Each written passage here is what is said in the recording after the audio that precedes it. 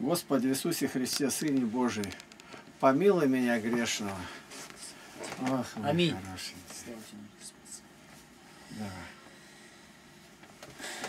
Откровение, 13 глава, 5 стих. «И даны были ему уста, говорящие гордо и богохульно, и дана ему власть действовать 42 месяца». Толкование. Это совпадет с видением Даниила.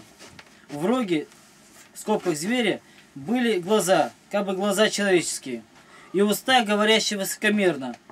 И против Всевышнего будут произносить слова и угнетать святых Всевышнего. Даниила, 7 глава, 8-25 стих. О том же пишет и апостол, противящийся и превозносящийся выше всего, называемое Богом или святынью, так что в храме Божьем сядет он как Бог, выдавая себя за Бога. 2 Фессалоникийцам, 2 глава, 4 стих. И даны, то есть Антихрист не своей силой достигнет этого, но и слова и действия его даны, попущены Богом. Что Бог дает разрешать ему сделать, то он и делает. Больше же, чем попущено от Бога, он совершить не может. И вот уста, данные человеку для прославления Бога, говорят гордо и богохульно. Гордость – первый грех сатаны. Гордость будет и последним его грехом. Он начал грешить тем, что захотел быть как Бог. Тем же он согрешит в последний раз. От гордости родились все грехи, в ней же они все и завершаются. Усугубление греха Антихриста еще в том, что он будет не только говорить, но и действовать, и словами и действиями будет хулить Бога. Но дано ему будет это делать только краткий срок – 42 месяца и три с половиной года. Смотрите, Откровение 11 глава 23 стих и Откровение 12 глава 6-14 стих. Святые отцы все разумеют здесь буквально срок три с половиной года, а не неопределенный промежуток времени. Ириней Леонский, Блаженный Иероним и Андрей Кисарийский. Откровение 13 глава 6 стих. «И отверз он уста свои для хулы на Бога, чтобы хулить имя Его и жилище Его и живущих на небе». Толкование. Выдавая себя за Бога, Антихрист будет уничтожать и хулить все, что люди предпочли почитать за божественное святое. И отверз он уста свои для хулы на Бога. Бесстыдству и нечестию Антихриста нет предела. Его ничто не останавливает и не отверзает свои уста даже для хулы на Бога. И, не изверга, изв, и извергает тройную хулу, чтобы хулить. Первое – имя Его. Второе – жилище Его. И, живущих, и третье – живущих на небе. Первым объектом хулы для Антихриста будет Всесвятое, великое страшное имя Божие.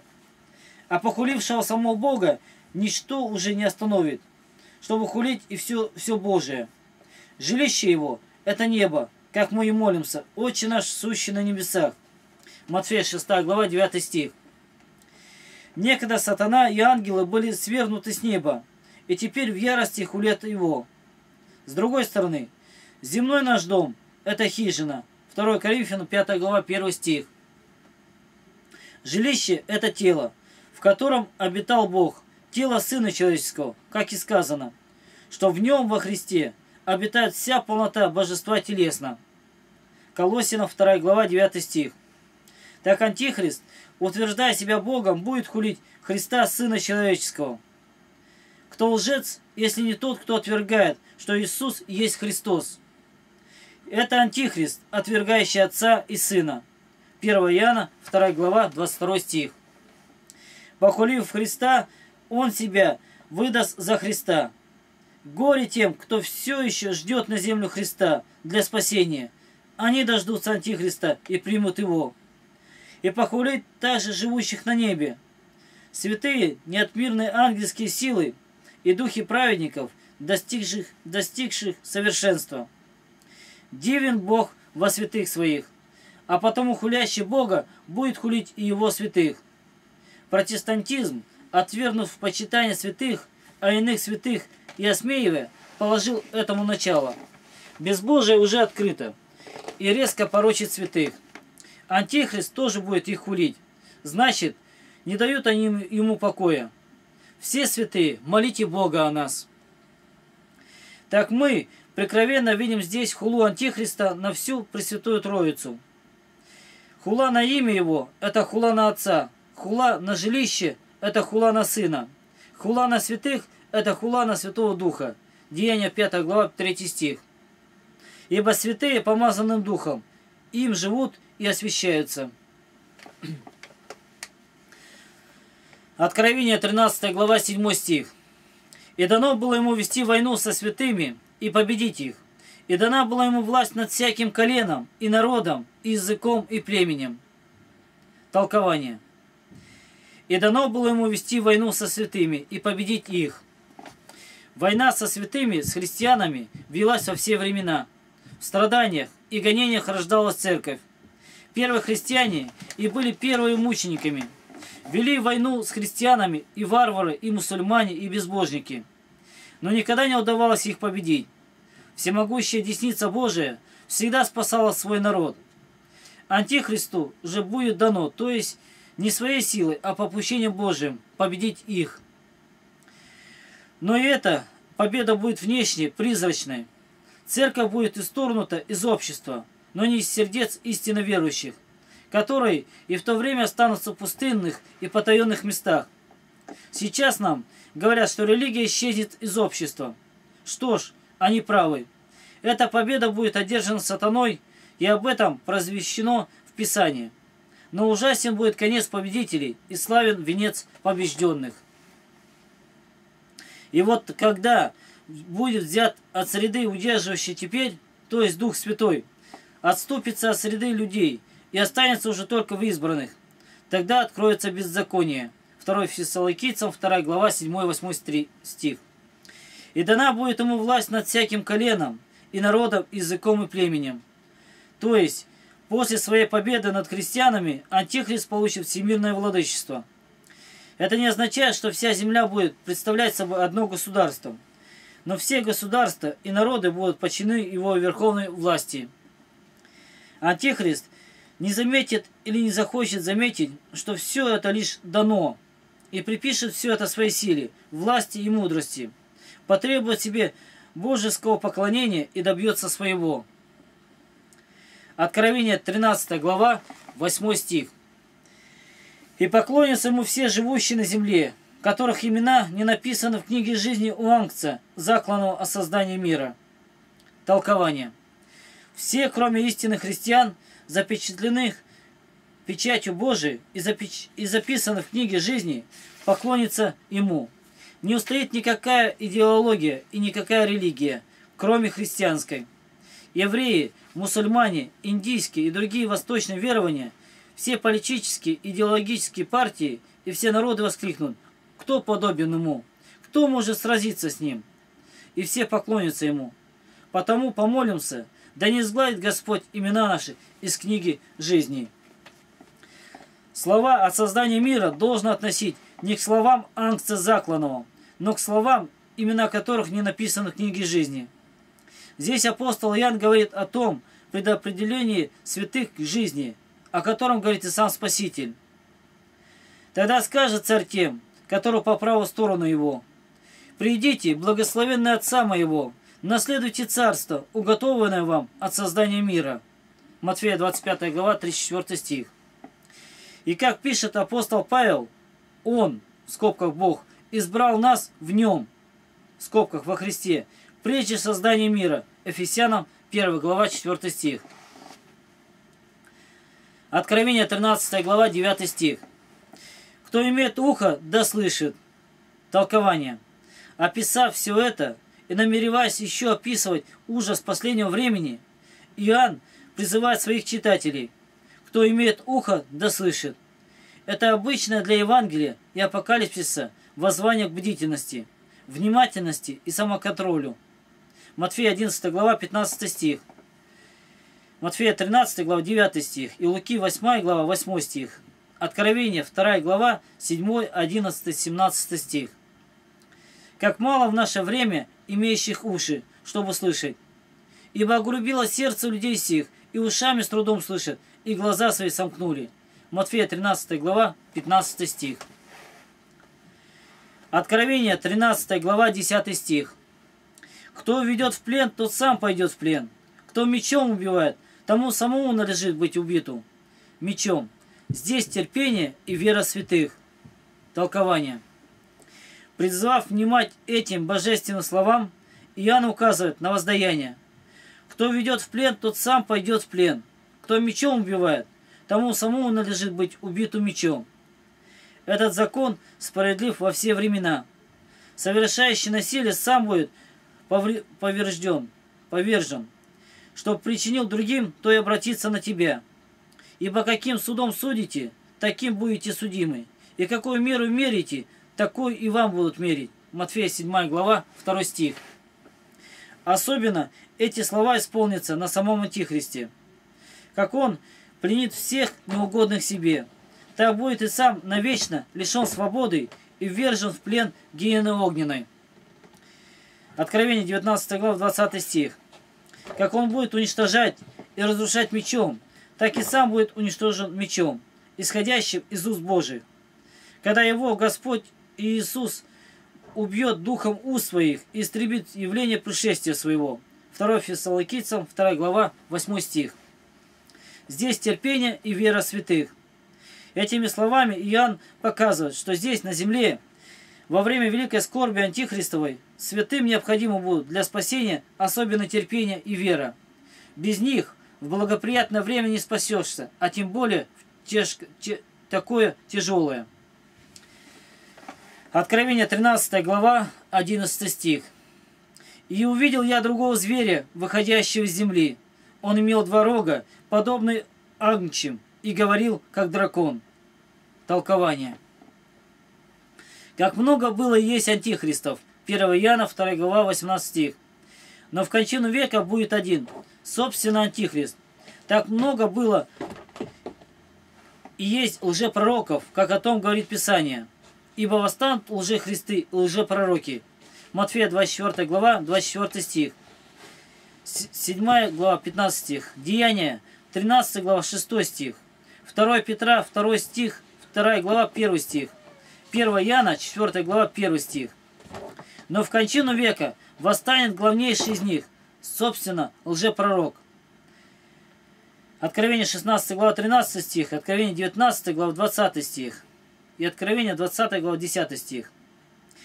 Как многие пророки пророчествовали о Христе, а один из них, Иоанн Притеча, указывал на Христа. Так многие лжепророки своей деятельностью говорили, готовили путь Антихристу. А один будет его непосредственным предтечей, укажет на него и научит людей ему поклоняться. Ириней Леонский и Андрей Кисарийский объяснили, что этот другой зверь и есть лжепророк. Этот зверь не антихрист, ибо он другой по отношению к нему. Не является он и самим сатаной, ибо действует перед сатаной. Стих 12. Сатана во всем подражает Богу, ибо желает быть как Бог, а с другой стороны, чтобы прельстить людей. Так как Бог есть Пресвятая Троица, то Он в определенном смысле подражает Ему и в этом. Не будучи трои, Троицей по существу, Он совершает это подражательно. Сатана сам подражает как бы Богу Отцу. Как Бог послал в мир своего Сына Иисуса Христа – так сатана посылает Антихриста, а Антихрист во всем внешне подражает Христу.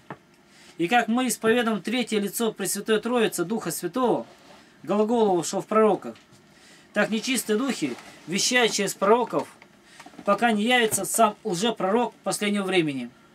Сатана, Антихрист и лжепророк – вот прескверная карикатура лукавого на Божественную Троицу. Иоанн видит зверя лжепророка, выходящего из земли. Зверь Антихрист вышел из моря, как из чего-то всегда волнующегося и меняющегося. Такова жизнь, породившая Антихриста. Особенно уподобляется морю жизнь государственных и политических деятелей. Земля это, наоборот, нечто постоянное и твердое. Таким является в обществе во все века культ и порождаемая им культура – Корень слова культура – культ. Без корня нет слова, без культа – культуры. Таким образом, лжепророк будет не, государствен, не государственным деятелем, а представителем культа и культуры, приготовляющей умы и сердца людей к принятию Антихриста. Он будет вести идеологическую работу и являться верховным жрецом культа сатаны. Это не будет религия, направляющая к небу, к вечности. Это будет земное мудрование, исходящее от земной скверной жизни. Почему видит Иоанн лжепророка, выходящего из земли? Далее следует описать зверя лжепророка. Он имел два рога, подобный ангчим. То, что этот зверь имел только два рога, означает, что он является низшим по отношению к Антихристу, который является в виде зверя с десятью рогами. Два рога лжепророга будут подобны ангчим. Откровение 5 глава 6 стих. Они будут не ангчи, но подобные ангчим. Опять сатанинское уподобление Богу. Предупреждал о том Христос. Берегитесь лжепророков, которые приходят к вам в овечьей одежде, а внутри суть волки хищные. Матфея 7 глава, 15 стих. С печалью говорил о том и великий апостол из языков, языков. Ибо я знаю, что под шестью моем войдут к вам лютые волки, не щадящие стада. Деяние 20 глава, 29 стих. В наивысшей мере таковым будет лжепророк Антихриста. Подобно Агнцу, он будет иметь вид благочестия и возвещать вроде бы наивысшее и гуманнейшее учение – но все это будет ложь. И научит поклоняться не божественному ангцу, а посланнику ада, страшному зверю Антихристу. Сколь бдительно должны быть мы. В самых разных формах приходят пророки, подобные ангцу. Это и различные еретики, предлагающие учения, подобные учению ангца. Они и называются его именем «Дети Божии», и исповедуют его и, призыва, и призывают к нему. Только Христа они считают основой центра своей веры. И все-таки их вера только подобие веры Ангчи. Они не могут реально предложить Христа, а только его подобие. Не случайно поэтому в сектах нет таинств, а есть только символы, подобия. Отравленное вино подобно чистому, но испивший такую чашу умирает, а потом нет у них спасения. Люди, не отличив ангца от подобия ангцу, гибнут. Овечья одежда прикрывает хищных волков. И неверующие люди также предлагают зачастую программы, цели и учения, подобно ангчим. Божественному ангцу и его учению уподобляются различные посланники Индии и Тибета, оккультисты, теософы. И люди оставляют истину ради ее подобия и гибнут. Зверь лжепророк говорил, как дракон, уста пророков возвещали то, что говорил нам, что говорил через них Бог Духом Святым. 1, 2 Петра, 1 глава, 12 стих.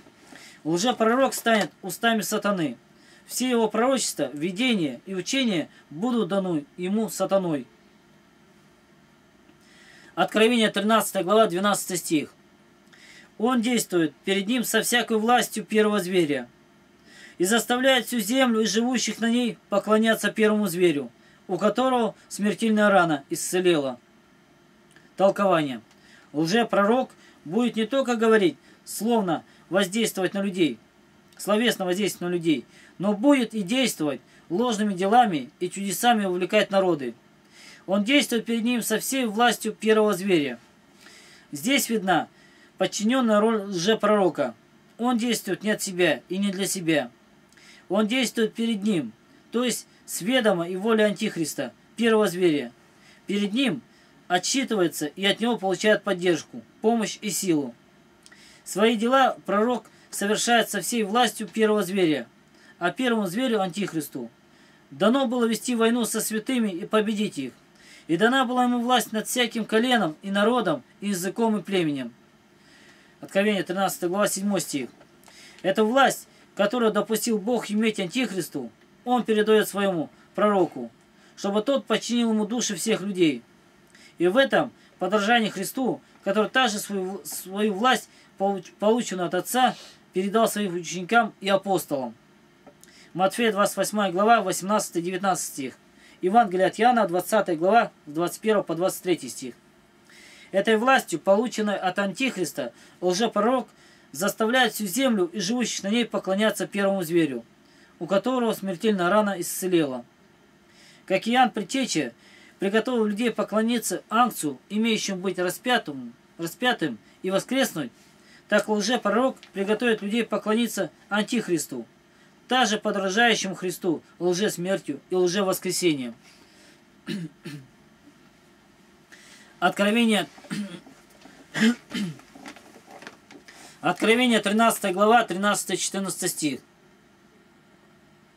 «И творит великие знамения, так что и огонь не сводит с неба на землю перед людьми, и чудесами, которые дано было ему творить перед зверем, он обольщает живущих на земле, говоря живущим на земле, чтобы они сделали образ зверя, который имеет рану от меча и жив». Толкование. Вера нуждается в удостоверении чудом, и вера в Антихриста также будет нуждаться в этом. Сейчас нам говорят, покажите чудо, и мы будем верить. Что ж, великие чудеса будут совершены лжепророком и поверят. По своему эффекту и гранди... грандиозности чудеса лжепророка названы великими. О такой чудотворной деятельности говорил Христос. Восстанут лжехристы и лжепророки, и дадут великие знамения чудеса, чтобы прелестить, если возможно, избранных. Матфея 24 глава, 24 стих.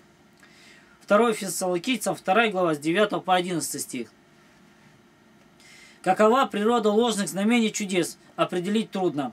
Это может быть и обман, и наваждение, и сценировки, и явления, совершенные с помощью науки, и действительные чудеса, совершенные дьявольской силой, как, например, чародейство, колдовство, магия.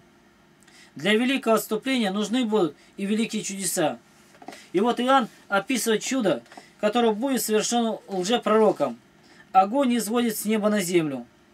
Это чудо всегда было особым знаком божественности, удостоверением схождения небесного на землю. Бытие, 15 глава, 17 стих. 3 царств, 18 глава, 38 стих. 4 царств, 1 глава, 10-12 стих. Луки, 9 глава, 54 стих.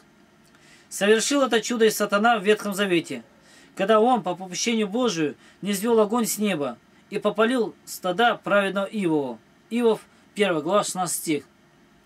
К тому же и пророки Илья и Енох будут поражать огнем своих противников. Чтобы противостоять им, лжепророк будет совершать подобные знамения. Исход 7 глава, 12 и 11, 22 стих. И не изведет огонь с неба, Возможно, чудом низведения огня на землю лжепророк будет пытаться противостать явлению схождения благодатного огня на гробе Господнем в Иерусалиме. Геннадий Фаст. Но это чудо будет совершено перед людьми, а не перед Богом. Ибо это лже-чудо не есть проявление высшей реальности неба, а целиком рассчитано на эффект перед людьми, на то, чтобы обольстить их. Все эти ложные чудеса лжепророк совершит – чтобы обольстить живущих на земле. Ему не дастся обольстить тех, которые хотя, которые, хотя по земле, душой живут на небе, и там имеют свое сокровище, которых жительство на небесах. Те же, которые не только телом, но и душой живут на земле, только о земном помышляют и к неземному прилепляются, те будут обольщены лжепророком и примут Антихриста. Поэтому не собирайте себе сокровищ на земле, где моль и ржа истребляют, и где воры подкапывают и крадут. Но собирайте сокровища на небе, где ни моль, ни ржа не истребляют, и где воры не подкапывают и не крадут. Ибо где сокровище ваше, там будет и сердце ваше. Матфея 6 глава с 19 по 21 стих. Так лжепророк будет творить свои знамения перед Антихристом. Откровение, 13 глава, 15 стих. «И дано ему было вложить дух в образ зверя, чтобы образ зверя и говорил, и действовал так, чтобы убивал им был всякий, кто не будет поклоняться образу зверя». Толкование. Как в христианстве есть иконопочитание, есть икона Спасителя, Божьей Матери, святых, так будет создана и икона Антихриста, и учреждено поклонение ей. Здесь мы явно видим – что общество Антихриста будет не безрелигиозным, основой религии, с явным культом сатаны. Лжепророк добьется не только почитания Антихриста, но даже и его иконы. Честь, воздаваемая образу, переходит к первообразу. Так и поклонение иконе Антихриста будет особой формой поклонения Антихристу. Собственно, это будет финалом идолопоклонства. Прежде приносившие жертвы идолам, приносили их фактически бесам. 1 Коринфянам 10 глава 20 стих. Здесь же поклонение будет оказано не идолу, а непосредственно иконе Антихриста, посланника сатаны. История повествует нам, что человеческий разум может доходить до, до такого безумия, как оказание божеской почести человеку. Есть примеры римских императоров Калигулы, Нерона, Домициана, Декия. Лжепророк не только добьется от людей поклонения иконе Антихриста, но и дано ему было вложить дух в образ зверя. О всех действиях лжепророка сказано, дано ему было, то есть все это он совершает не собственной силой, но по попущению Божию. Он делает все силой сатаны. Мы видим, что ему будет дано даже ожитворить икону Антихриста. Речь статуи была для язычников явным знамением присутствия в ней божества и возбуждала перед собой трепет и поклонение. Есть повествование, что волшебством бесы говорили посредством изображений, статуй, деревьев, вод, даже бывало и через мертвые тела.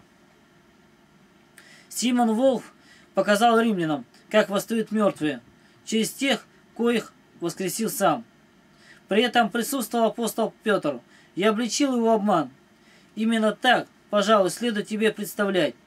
И говорящую икону Антихриста, а не как какое-нибудь изобретение. Техники вроде телевидения и подобного ему.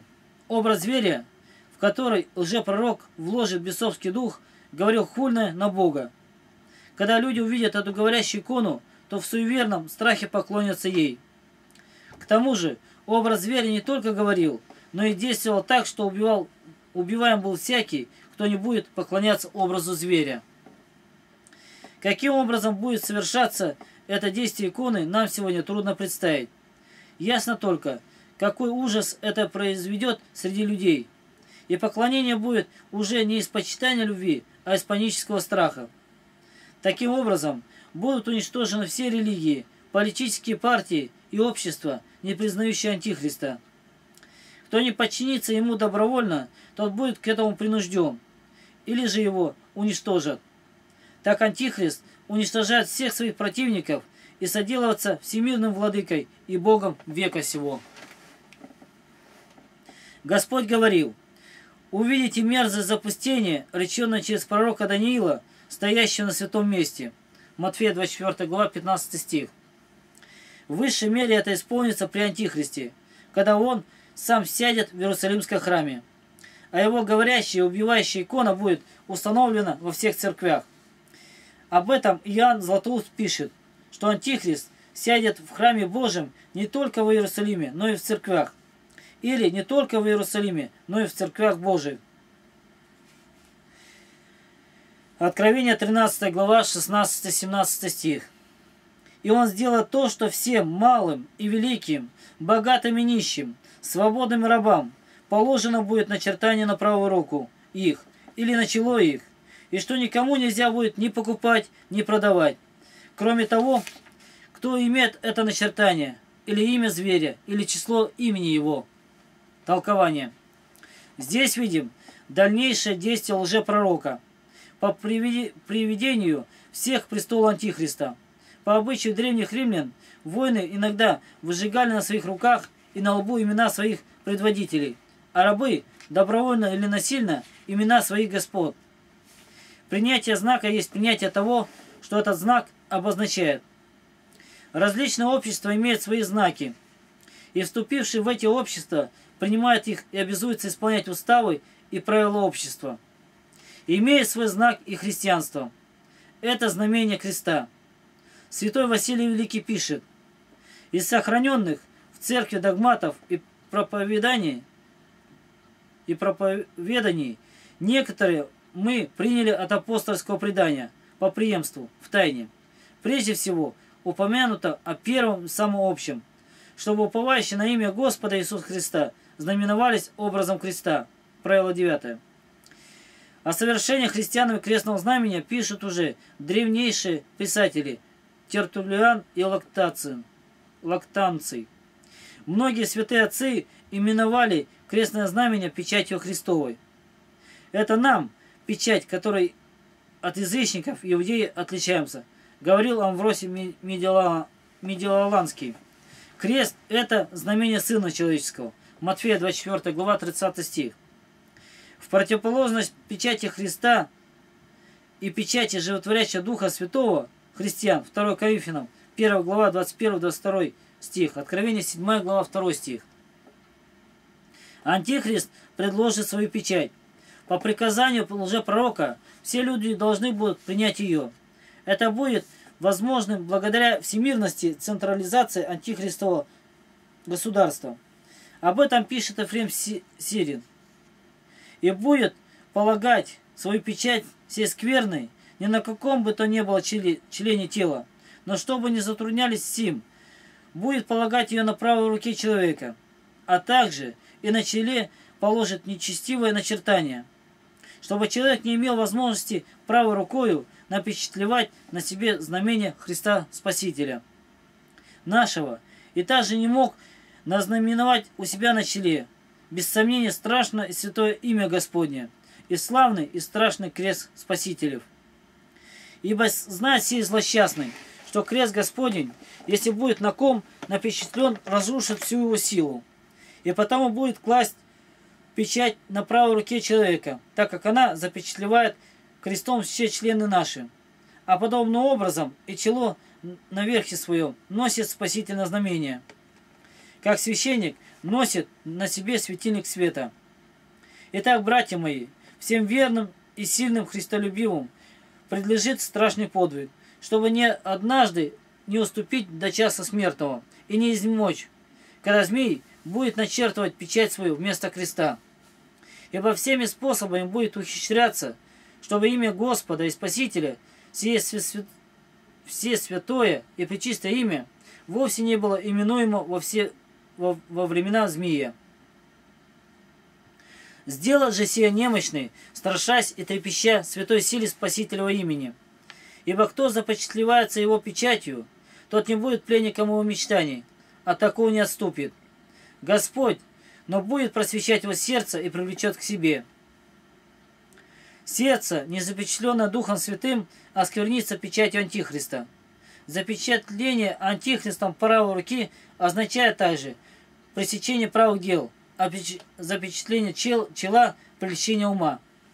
Запечатление антихристовой печатью будет независимо от общественного положения, богатства, всем малым и великим, богатым и нищим, свободным и рабам, положено будет начертание. Здесь мы, кстати, снова видим, что до самого конца остается в обществе деление на богатых и нищих, свободных рабов.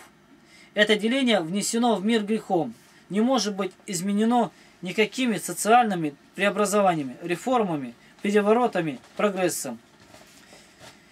Как именно положено будет начертание, об этом нет никаких указаний в Писании. Это откроет само время, когда все это совершится. Указано только, что это начертание будет либо имя зверя, либо число имени его.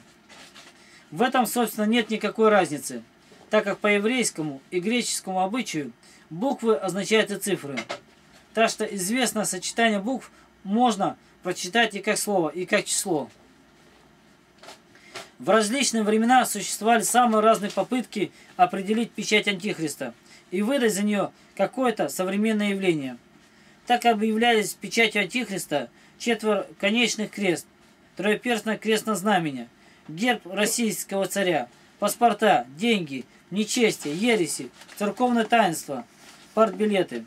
Но все подобное мнение никак не соответствует ни учению Священного Писания, ни разумению святых отцов.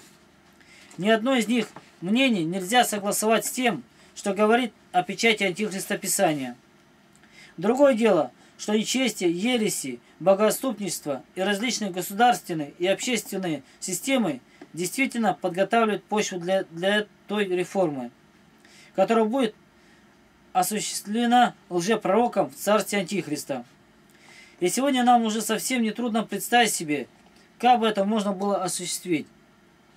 Но не будем гадать, а оставим самим грядущим событиям сказать свое слово. Необходимо уяснить, что как, что как апостол, кроме Антихриста, что придет, указывает на то, что и теперь появилось много антихристов. 1 Иоанна, 2 глава, 18 стих. Так и кроме печати, что будет в кончину века начертано на, нечестивых, поклонившихся антихристу. И теперь есть много печатей, которыми запечатлевается неверное. Всякое неправое дело есть запечатление правой руки, а неправая мысль – запечатление чела духом антихриста. Самого антихриста еще нет, но его дух и ныне действует в ценах противления. Нет еще и той апокалиптической печати, но и теперь запечатлевают ее нынешние лжепророки нечестивых. На страшном суде на всех нечестивых обнаружится начертание Антихриста. Тогда они спросят, когда же мы его приняли, когда же мы его принимали? И ответит им праведный судья, когда не исповедовали меня, когда когда грешили и не каялись, когда безумно проводили время в суете, увеселениях, в разврате. Матфея 25 глава, 41 по 46 стих. Апостол Павел некогда говорил, корень всех зол есть сребролюбие, которому предавшись, некоторые уклонились от веры и сами себя подвергли многим скорбям. 1 Тимофею, 6 глава, 10 стих. Это будет хорошо знать антихрист и лжепророк. А потому лжепророк сделает то, что никому нельзя было ни покупать, ни продавать, кроме того, кто имеет это начертание. Легче всего заставить человека согрешить ударом по карману, экономическим давлением. Человек прилепился к земному так, что ради него он готов и душу свою продать. Не принявшие начертания Антихристова окажутся, собственно говоря, вне общества, а таковых – общество всегда карало. Как сейчас без документов, удостоверяющих личность, человек фактически в обществе жить не может. Так будет и тогда. Без начертания имени Антихриста нельзя будет ни покупать, ни продавать, а значит нельзя будет пользоваться ничем, что имеет общество. Только пустынные места, пещеры и ущелья гор приютят тогда верных Христу. Мужайся, душа! и готовься к великим испытаниям. Если теперь даже приносившие жертву идолам и отрекавшиеся от Христа и Бога могут покаяться и получить прощение от Бога и Церкви, то принявший начертание зверя становится при жизни сыном гиены. Это будет смертельный грех, которому нет прощения ни в всем веке, ни в будущем. Это будет хула на Духа Святого и всю Пресвятую Троицу в высшей мере – Матфея 12 глава, 31-32 стих. Ибо Антихрист отверз уста свои для хулы на Бога, чтобы хулить имя Его и жилище Его и живущих на небе. Откровение 13 глава, 6 стих. Это же должны будут сделать все, принявшие его начертания. Поэтому о принявшем печать Антихриста Ипполит Римский пишет «Прелестнику приложится, и тому единому послужит, потому что такому пока и нет, по всему ясно, что погиб от Бога и от человека.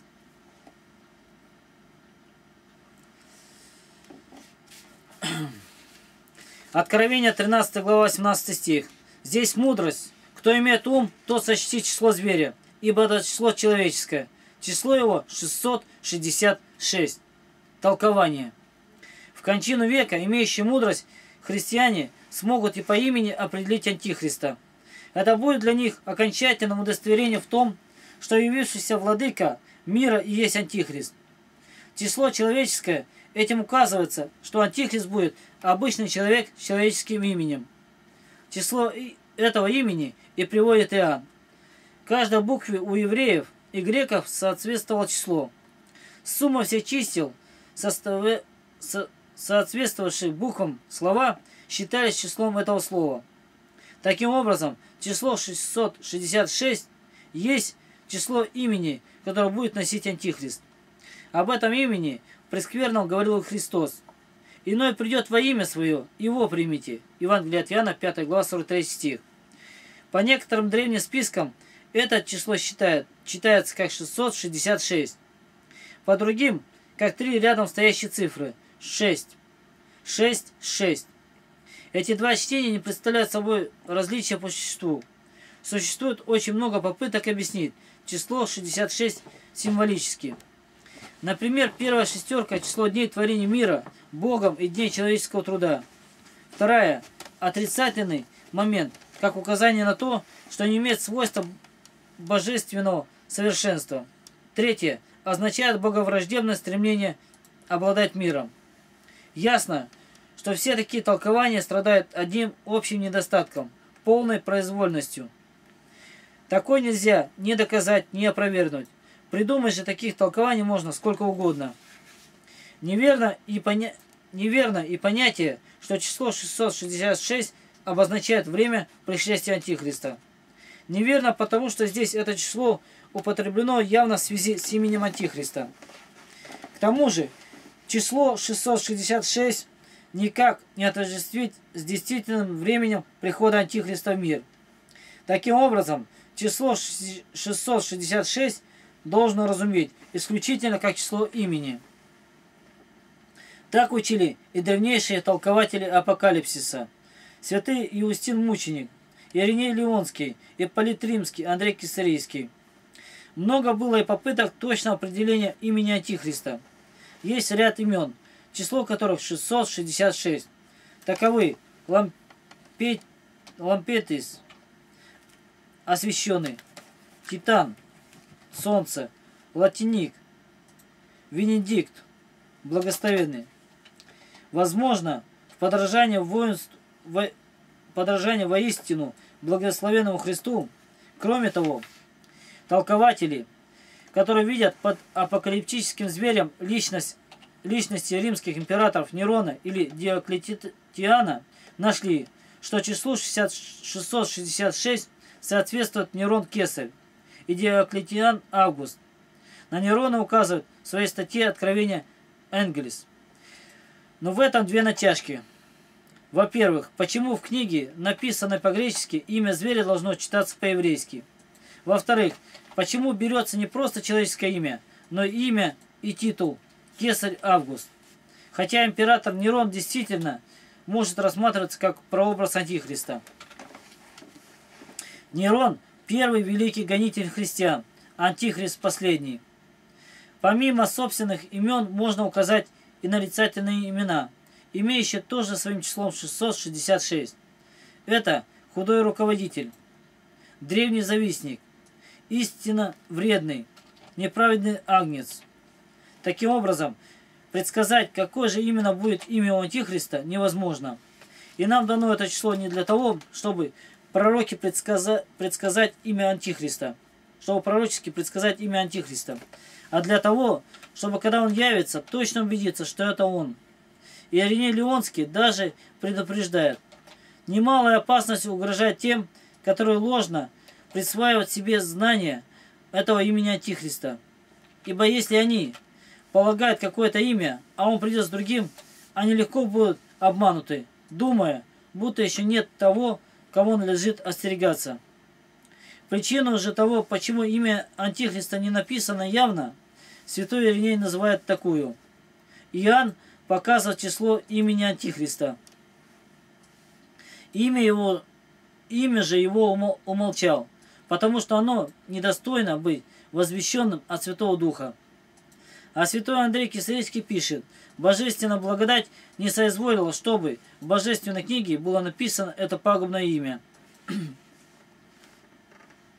Возможно, что есть какая-то связь с Антихристом у Адоника, Адоникама, вернувшийся за Равевелем из Вавилонского плена, о котором сказано «Сыновей а-, Адоникама 666».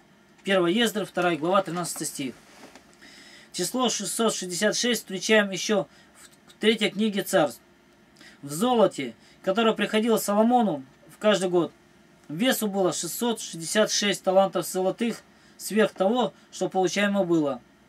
Третье царств, 10 глава, 14-15 стих. Как 7 число божественной полноты, так 6 число антихриста. 666 сатанинская полнота, как тройное повторение шестерки. Ириней Леонский указывает также назначение числа 666, замечая, что одинаковое повторение числа 6 трижды означает восстановление антихристом всего богоотступничества, которое было в начале, середине и будет в конце времен. Как имя Иисус было общеупотребляемо в Ветхом Завете и стало спасительным, Деяние 4.12, и страшным для бесов только с пришествием в мир самого Бога человека. Так и имя Антихриста сейчас, возможно, общеупотребляемо, а приобретет всю сатанинскую силу и станет прескверным только с явлением Антихриста. Так святой Иоанн описал царство Антихриста, самое мрачное время бытия человечества. Интересно указать число имени Иисус. И 10 Тут... Имеем 888. Об имени Девы Марии есть такое повествование. Когда у Еленов был весьма великий голод, воздвигли храм. Воздвигнуть вошли в кумирницу вопросить Аполлона, кумира своего, в честь какого бога наречь сей храм. Скажи нам, о, о пророчествующий Аполлон, чей будет это храм, и чему надлежит быть? Аполлону же не попущено было молчать, но опаляемый от обоих сторон неизлеченной силой, он ответил им, говоря так, «Я поведу вам единого Бога Вышнего Царя, которого слово без нетления при, при чистой деве носимо будет. Тому будет храм этот. Имя же девицы дважды по семьдесят, дважды шесть. И действительно, число имени Марии есть 152. Приложение четвертое. Опровержение адвентист, адвентистского лжеучения об антихристе как о римском папстве. Ну, может быть, на следующее оставить. Где? Тут далеко очень много. Да, тут далеко. Ну все тогда на этом. Этот ролик на этом закончить. А то уже скоро перебор будет. Будет около часу почти.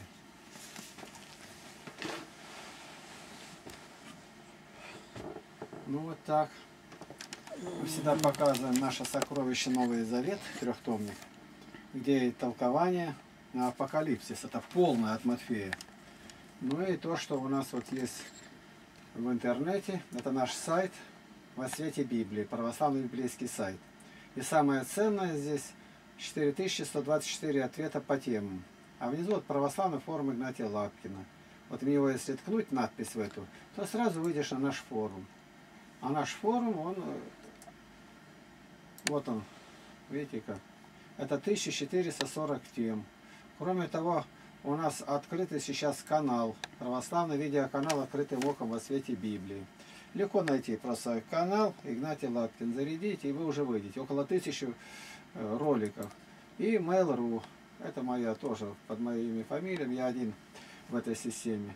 Тут очень много фотографий, много материала, много роликов. Много это около больше тысячи. Вот, эта система одна из лучших, какие я знал. Вот здесь много говорится об опровержении сектантского лжемудрования относительно тысячелетнего царства. Я помню, как-то был, жил я в Искитиме, и там знакомый баптист был, близкие отношения были. Вот, э, Иван Гузь. И он этой темой интересовался, а тогда Бакмелдера книга такая вышла «Господь грядет». И вот он взял большую простыню у тещи и все изрисовал кругами, откуда идет, что мы залезли вчетвером на эту простыню, она большая. И он ведет по ней, показывает, когда восхищение, когда первое воскресенье, там все остальное. Ну, а я наводящие вопросы стал задавать. Но он их свести-то не может. И ни один, никто их не сведет, как у баптистов. Когда написано, что оставьте Россию вместе то и другое до жатвы, а у них за тысячу лет раньше праведники возносятся праведники, за тысячу лет лежать до жатвы. У них ничего не получается. Рабы Господни думали вырвать сначала плевел. То есть вот эти попытки, они не от Бога. Расти вместе, не вот подойдет к концу, это кончина века. Там очень четко. Христос воскрес. Дата. Здесь начало тысячелетнего царства. Вот с этим никак не соглашается. А иначе приблизилось Царство Небесное. Где оно приблизилось? В лице Иисуса Христа. Да придет Царство Твое. Оно пришло. А Царство Божие не пища питье, но что? Праведность, мир, радость во Святом Духе. апостол Павел сказал об этом. Оно не придет приметным образом. Оно неприметное пришло по-баптистски, там, по-сектантски. Оно очень приметное будет. Вот как фильмы ставят адвентисты седьмого дня, она выходит, ребенка нету. Ну что ты, ну кончай прикалываться, куда ребенок делся? И везде у них восхищены, на работе, паника там исследует, ФБР не может найти. То есть это бредни пьяных старух, как Ян Златоуст говорит. Здесь просто, никакой простыни не надо. Вот, Христос воскрес, это понятно? Начало тысячелетнего царства на Голгофе лишить силы, имеющего державу смерти. Сатана скован на тысячу лет. Скован, то есть лишен силы. Вот он, сатана скован тысячу лет.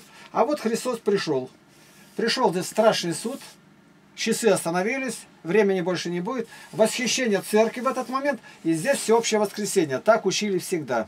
Марфа еще говорила, знаю, воскреснет в последний день. Но за три с половиной года придет Антихрист. То есть он придет раньше, за семь лет, но три с половиной года до этого будет подготовка, а три с половиной это над всем миром над всяким языком и плением. Время скорби. Сатана в это время освобожден. И ради избранных дни те сократятся. Наш сайт к истине один народ.ру. Это все там подробно написано. Вот, пожалуйста, одна черта, Христос воскрес, Христос пришел. Все. И три с половиной года черточка. Там начало тысячелетнего царства, а здесь восхищение церкви, все общее. Другого толкования нет и быть не может. Не может быть. Иначе все места Писания противоречат и разброс. Как будто бы э, одно место от Бога, другое не от Бога. Одно то, что эта книга Откровения в духе, был в духе, это не реальность. Это не последовательность событий, а что, как должно быть дальше. Это уже запрограммировано, режиссура составлена, и она проецируется сегодня на землю. Будет только так, как Господь сказал. Ну, на этом все на сегодня. Пожалуйста. Слава Христу. Сейчас я посмотрю еще у меня тут.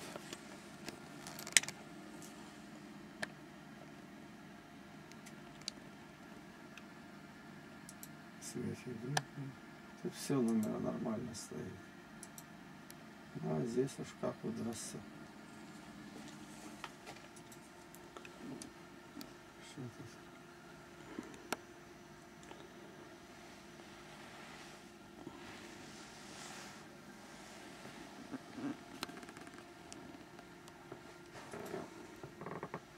Ничего тут больше нет.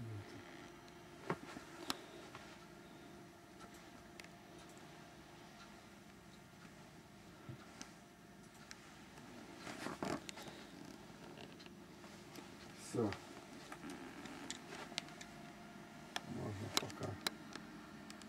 Можно пока подготовить.